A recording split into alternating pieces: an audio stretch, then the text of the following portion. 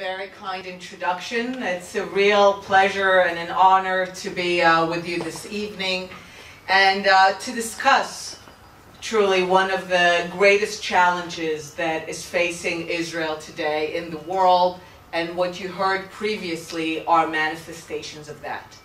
So I will begin by saying something and you will uh, excuse me if the language is harsh or militant, but this is war. Uh, Israel is right now at war. And it is a war in which the weapons are not tanks, they're not airplanes, they're not missiles. The war is waged with words, with images, with ideas. And these are the weapons of this war. Now, you might say, boo hoo, big deal at least the war that is being waged now against Israel is not with tanks and airplanes. At least it's not about invading armies. At least it's not about physical threats to our survival.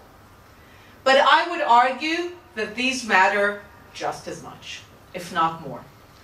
Because those who wage this war against Israel they understand, maybe consciously, maybe subconsciously, they understand something very fundamental about what makes Israel strong. What makes Israel strong is not its superior military force. It's important. What makes Israel strong is not the thriving economy. And I would say what makes Israel strong is not even its people. What makes Israel strong is the idea that drives its people. Israel is a country that was first and foremost born here. It was born as a vision, as an idea in people's minds. And it was an inspirational idea. It was an influential idea. It was such a powerful idea that it drove young people to leave behind their parents it drove people who were about to graduate from prestigious universities in Europe to become farmers in the Galilee. It was truly an idea that moved mountains. Now, if this idea that had and has so much power is somehow made to be so distasteful, so abhorrent, that none will want to touch it, then something deep in what makes Israel strong is weakened. And if you want to look at history, all of these physical atrocities, I would say all, maybe perhaps almost all, all of the physical atrocities in our world are preceded by laying the ideological groundwork. No one who ever commits an atrocity thinks they're committing an atrocity. Even the Nazis thought they were doing something good for mankind by ridding it of the Jews. So you first lay the ideological groundwork, and then the atrocity doesn't seem so bad. So if you create an ideological framework by which Zionism, the powerful idea that has created this reality, without this, none of this is here if you create an ideological framework, a condition by which Zionism is equated with all that is evil in our world, even you here today who support Israel, if I say to you the word Zionism, you immediately know to tell me what are the words that are today associated with it in our world. It would be apartheid, genocide, crimes against humanity, ethnic cleansing, now, we live in a world where we are always ready to believe the worst about everyone. You see it always on the news. The, the, the neighbor who's suddenly um, kind of charged with being a pedophile, and suddenly all the neighbors would say, yeah, there was something weird about him. And later when he's exonerated, uh, that doesn't matter anymore. So we're ready to believe the worst. And people believe that there's no smoke without fire. So repeated enough time, show on off placards Zionism equals colonialism, Zionism equals apartheid, people will begin to believe it. And people will begin to think if Zionism is so evil, so terrible, it almost becomes mandatory to get rid of its manifestation, the State of Israel. It no longer will be considered an atrocity. It will no longer be a tragedy if Israel doesn't exist because it was so evil. It was all that is evil in our world. And notice how much time you spent here discussing the way that Israel is not apartheid. But just by making that discussion, we're losing. Because we are being forced to put the words Israel and apartheid in the same sentence. Even by denying it. Even by saying it's not true. This is part of what, of how this war is waged. Keep my distance. So the war is being waged with the idea that we will have to defend ourselves against the worst charges. And the sad thing is that there are still people who think that it is about facts, that it is about arguments, that it is about truth, right? We are here under an event of truth be told. The thinking perhaps is say the truth, the truth has power. I wish it were so. Go even more. Oh, facts are not enough. Truth is not enough. If that were the case, we would not be in the situation of where we are today. Perhaps I will stop for a minute. If, no, you're going to take care of it? Okay, so I'll try to continue. So we need to understand that those who wage the war, they don't care about facts. They don't care about truth. Use the other mic. Use the other mic. The other mic. Is there another mic?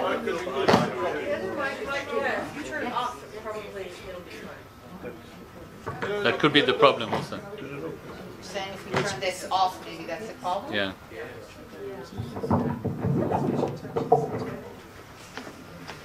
Okay. So, think we're good? It is that wire that is doing it. No, it was doing it even oh. without the wire. Is that little, which is the wire? I think it's this, it was this. Okay.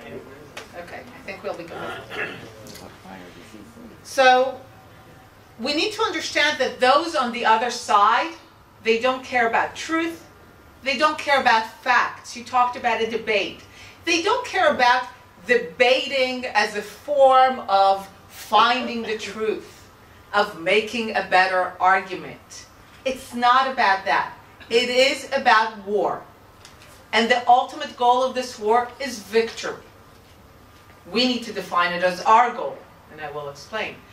But on the other side, there is still this belief on behalf of some of our people that it is about what we argue, what we say, getting better facts, getting better arguments.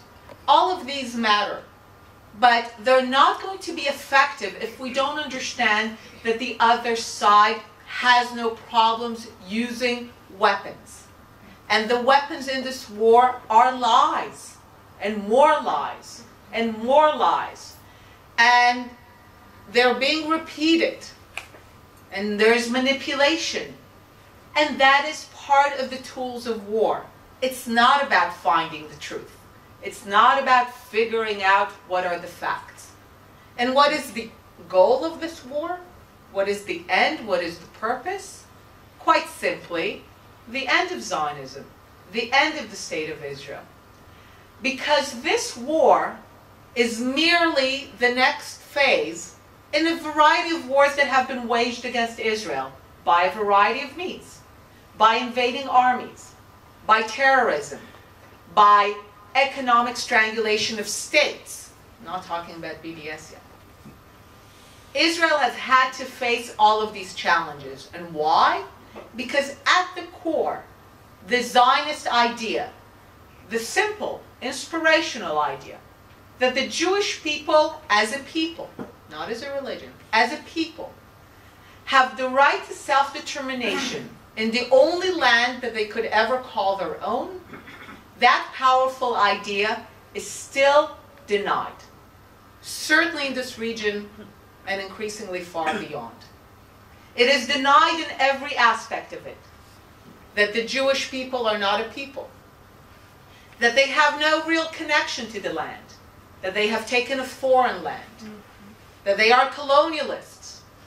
You know, it is interesting. There is, you know, I don't know, many colonial movements that went about purchasing land, turning uh, academics into farmers, and went about this uh, and really went to a place that had no natural resources whatsoever. So, going in, this direction, this idea that the Jewish people are not a people, they have no connection to the land, and therefore they have no right to self determination, and if they do, it's not here. This idea is being denied.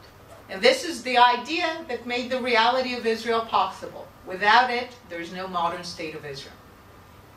And this is the idea that's being attacked. And sadly, and we need to understand, certainly in this region, there's still no acceptance of the Jewish people as equals. There was an excellent piece in Haaretz, I think a couple of weeks ago, about a researcher who used to be very much on the radical left, and uh, he's moved, and he talked about the story of the Jews in Arab countries. There's a tendency to describe it as a harmonious uh, kind of living. It was harmonious in the sense that as long as the Jews in Arab countries knew their place, which was a subservient, protected people, uh, it could be harmonious. But as soon as the Jews had the gall to be equal, to demand sovereignty, to be a powerful state right smack in the middle of the Middle East, well, that's not acceptable. And that is, we need in many ways to appreciate the perspective of the other side. It is a shock of historic proportions that you don't get over easily. To take a people who were second class, who were subservient, who knew their place for centuries, and within several decades, within the lifespan of one person, they are equal, they are powerful, and they're in your face. That's not something that you can accept, expect uh, people to get over quickly. So the idea is still not accepted. And when we hear today people saying violence against Israel has been renounced, well, we think that's a wonderful thing. And when we hear that the other side is using nonviolent means against Israel. Now, when you tell people they are waging a nonviolent uh, struggle, battle against Israel, well, what do you think of? You think of Martin Luther King. You think of Gandhi. You think some elements of Mandela. But the idea is if the battle is being waged by nonviolent means, clearly the ends of this battle must be noble. But as Mandela himself even said, you can wage a violent battle for a noble goal. And you can wage a non-violent battle for a very sinister goal. And that's what we have here. Renouncing violence is not because the other side has found Gandhi, has decided to become a pacifist. It is because violence has failed them. Quite simply. They have failed by violent means, but they have not given up on the goal. So they are using the means that they think right now might be most effective words, images, ideas. Turning the idea that makes Israel strong into something that no one will want to touch. So that one day the physical reality will follow. That is the basic end of this war, nothing less. It's not about freedom for the Palestinians. It's not about liberty for the Palestinians. It is not about having a Palestinian state. And I will say all are goals that I support. But it is about, it's not about having what the United Nations envisioned, a Jewish state and an Arab state. It is still about not having the Jewish state. That is still the battle that is being waged, simply by different means. Now, I will say that one of the problems, still, but less than in the past, is that there is a defeatist attitude when it comes to this war. That this is a war that we cannot win. That at most we can hope to draw a tie. Maybe score some points. But that we're too strong, we're too powerful, no one will ever believe us, uh, you know, if we're trying to show that we're under threat, so we can't win this war. But I would argue that we said, we thought, certainly people thought about that, about terrorism, about suicide bombing. Do you remember that time? There was a sense that there is no way we could deal with that. And we did. And I would argue that we will win this war as well. It will take us about as long that it took us to win all our other wars. A generation. 20 to 30 years. It took us about 20 to 30 years to get the Arab armies to decide that it's not worth it to try to invade Israel. It took us several decades to demonstrate that the Arab boycott is not going to stifle the Israeli economy and that we can basically behave as if we're an island if we're forced to be an island, we'll just uh, trade with everyone else in the world and to build a thriving export-based economy. And we've even been able to put terrorism at bay, to the point that I do think we can declare victory. Not that there are not efforts, but it has been won. And it will take us time to win this war, and we will make a lot of mistakes on the way, as we have in our past wars. But we will win. And how do I define victory? Because some people will say, it's one thing to win a war against an army, but how do you define victory in this war of images and ideas? And I say quite simply, the definition of victory is the day that those who hold these opinions, who voice these opinions, that we've heard against Israel, against Zionism, will have the social acceptability of neo-Nazis. And that is my definition of victory. It's about the social acceptability of these ideas. Because right now, these ideas, it's exactly the opposite. The more you hold on to these ideas, the more you gain social acceptability. In some circles, liberal, left-wing, academic, this is the only way to move forward.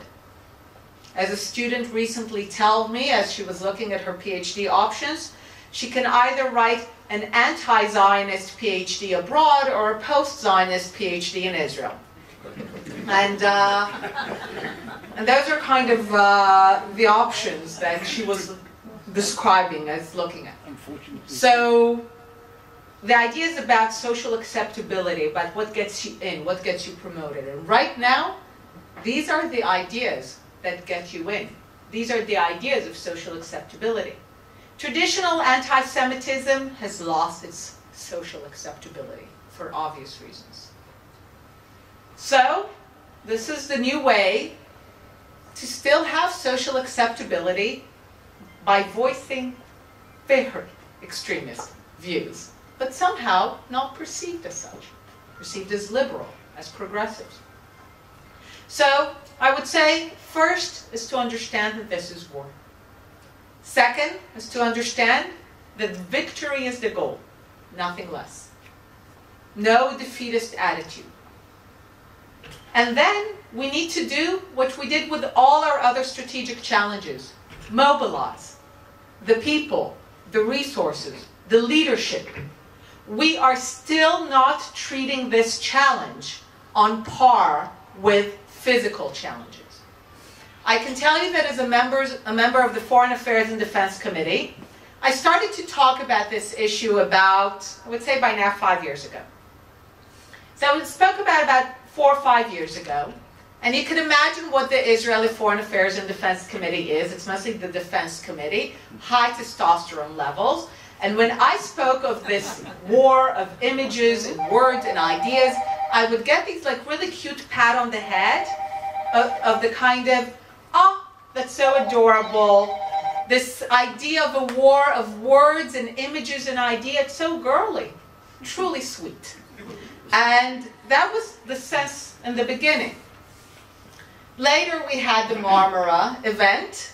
Uh, I'm on record uh, about a month before, as the fleet was being prepared, to say to say that.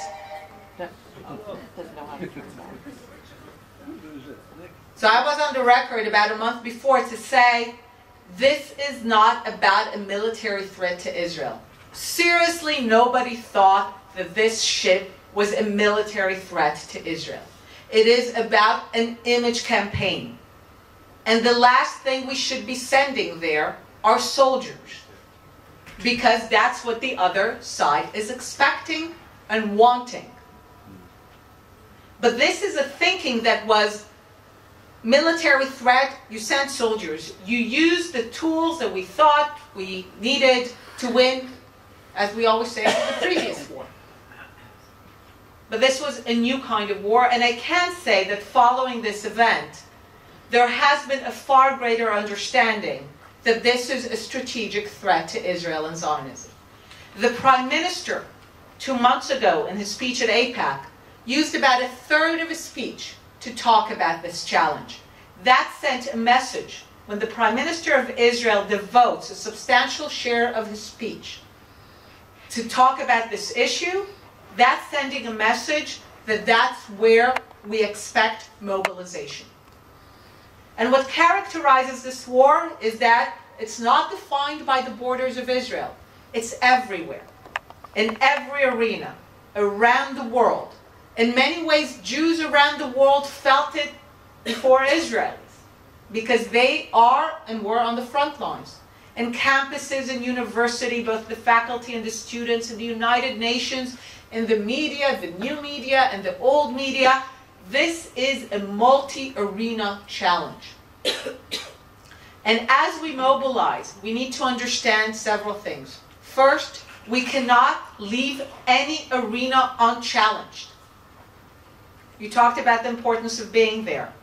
There is a tendency to say, what they're saying is so crazy, or this is so minor, or this is unimportant that we're not going there. But in this age,